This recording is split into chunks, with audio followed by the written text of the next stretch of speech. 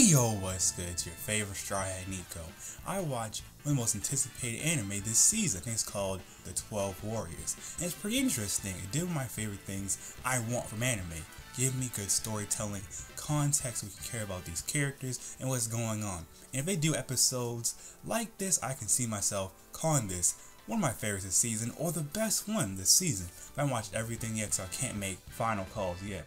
So the way it's looking, here's how I anticipate every episode. You focus on a particular, you know, zodiac sign and how that character is, and you see their backstory and what made them the way they are and how their family influences them. And you see how they think, and before you know it, you'll see what leads them to killing someone and them getting killed. That's the way I envision it. The reason why I say this, the boar has a pretty interesting story. So she basically finessed her way into being into the Zodiac War. It doesn't happen all the time, it's more like a tournament, and I think the conditions and rules are very interesting. What threw me off about her backstory was, she wasn't always the way she is right now, but you can clearly tell she's at least familiar with certain people. She doesn't like the monkey, and I can kind of see why. If the monkey's planning, okay, what we're gonna do, wouldn't let everyone come back to life, that's a waste of a wish. Because according to the referee, once you win, boom, you can make whatever wish you want. But I'm wondering this one thing, alright? So if y'all all gonna die because it's poison, to defeat the purpose of, you know, getting the antidote and then saying, okay, I wish everyone back alive. How about this? Everyone just like half kill people, right? Then you just drink a sip of the antidote and drink another sip and then pass it on to other people. So that way everyone can be cured if they're alive. But if they die, different story. I know the monkey's plotting something, but what threw me off most was, okay, so y'all really about to tell me. So in the middle of her explaining her plan to save everyone, why did the platform, or I mean the floor, under them just collapse? That's so weird. It was the most awkward timing. Then the rabbit, the one that claims to be a pacifist, he out here wilding. So I'm sitting like, this is kind of ironic. Is that his character? Like, he's saying he's not about killing, but he kills someone clearly, and he turns him into his friend. He a creep, but he may be the one to win it all because the boar is saying him and the ox are the biggest threats to her. But we're gonna see. And I'm thinking this: if the monkey somehow wins, I wouldn't feel happy unless she makes an interesting wish. Let's say the tiger wins. That'd be pretty dope. I'm sitting here like, so what's gonna happen? We're gonna see all their backstories. What makes them act the way they do, and their wish probably because we need to know what their wishes are so we can pick which sides to root for them. But the show doesn't want to do that.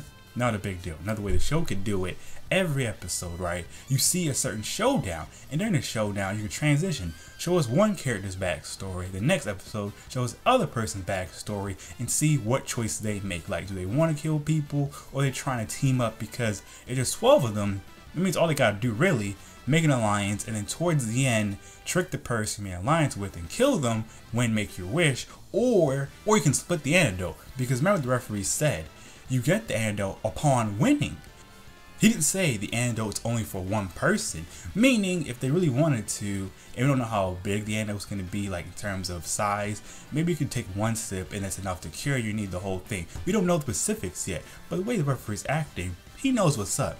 Maybe he's new there or he been doing this, so he knows exactly how stuff's supposed to go down. And maybe he rigged it so the platform, aka the floor, was gonna break on him because so random. And then you're telling me they started fighting instantly. The boar knows most of the people, so that made it interesting to me. And I'm wondering, what if the person we least expect actually wins the tournament? How would it go down? The way I see this show, they can easily have 13 episodes. So on episode 13, we see the aftermath of who won and what choices they made during the entire tournament. They can say, oh, I'm the monkey I want, and here's what I'm going to do, and here's what I was doing, and here we go. How's we got boom, pretty nice, right? Or maybe it could be, oh, I'm the tiger I want, and here's what happened. Here's how everything looked from my perspective, and this is why I made the choice I did, and here's my wish, and here's what I'm doing after said tournament. Maybe we could see like their future kids or something because if we know this is a generation thing and you get picked based on your family and to keep a tradition of who wins and who loses, it's an interesting thing because he went to bore her father. He always won when he did it. That's why he forced her to train super hard, leading her to break her sister so she have a chance of being in the Zodiac tournament to impress her father. So I'm wondering, how do the other families handle it? So it's like you get, it's like passed down like the next Zodiac sign from that same family. So it's like if you're in the Tiger family, you're always going to be known as the Tiger. But the thing is, no one has to tell you, a, this is what we expect from you. It could be just, okay, your Tiger, your sibling lost, so you win. Here's what you do. And maybe the way their personalities are are based on the zodiac signs, or you know the the assumption of what the sign is supposed to represent.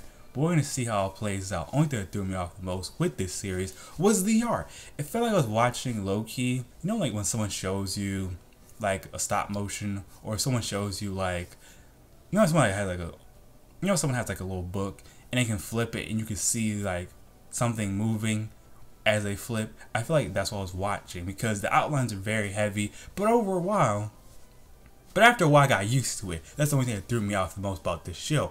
But it did something I did not expect. I knew it was going to be hype, and it lived up to the hype because y'all know me. I love good characters. I love good backstories and showing me a reason to care about these characters. This show did it.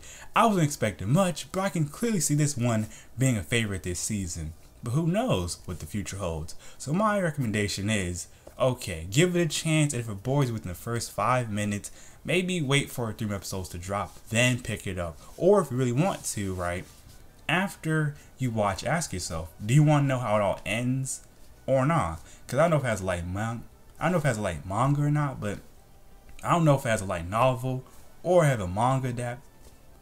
I don't know if it has a light novel or a manga, but it may be. I have to, you know, go check again and see what's up with it. But hey, bruh, y'all already know the deal. If it's fire, I'll tell you it's fire. If it's trash, I'll let y'all know what's good. But hey, I don't know for you guys. What do you think about the anime so far? You want to give? What do you think is the most likely ending? And what's the ending you don't want to see happen? Who's your favorite character so far? Let me know in the comment section below. If you did enjoy, you know what to do. Subscribe, join my Strawhat Fleet, turn my notification bell on so you never miss a video the second it drops. Also, do your boy a favor, check out my Patreon so you can support me financially because I'm not going to monetize because YouTube right now it's not the smartest thing to do unless you want to play around with, you know, your pennies. Share your favorite social media so I expand the fleet one step at a time. Check my playlist if you want more content like this. If you're still hungry for more videos. Also, follow me on Twitter, join my Discord, stay in loop with me, and you're good to go. I can say so much more, but my crew needs me. Thanks so much for watching.